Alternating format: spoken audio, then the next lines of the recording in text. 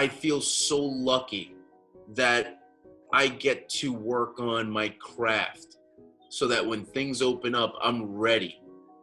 I'm I'm so confident that I'm going to be ready for what comes next. You know?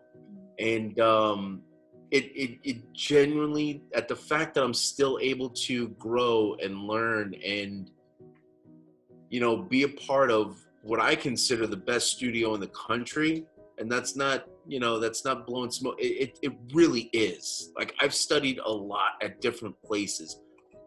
This is the place to be. If you really want to if you really want to be a full-fledged actor